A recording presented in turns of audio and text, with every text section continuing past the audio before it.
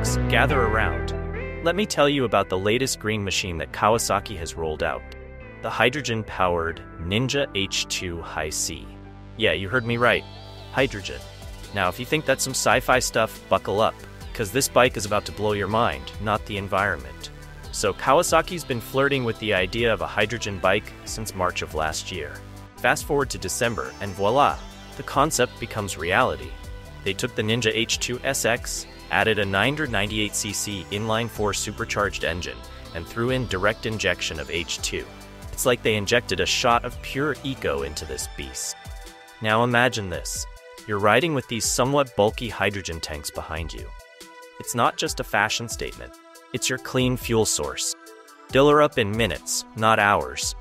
You see, waiting around for your bike to charge is like waiting for your mom to finish shopping. Painfully slow. But with this hydrogen bad boy, you're back on the road in no time. Here's the kicker this engine burns a bit of oil, but the only other emission is water. Yeah, water. Project leader Satoaki Ichi describes it as a humidifier on wheels. Just hold your hand near the tailpipe. It's like, is it raining? Nope, that's just my ninja keeping it cool and moist. But let's not forget the nitty gritty. Most hydrogen production isn't super eco friendly yet, so to be a true green warrior, you'd need that green hydrogen, the kind made with clean energy.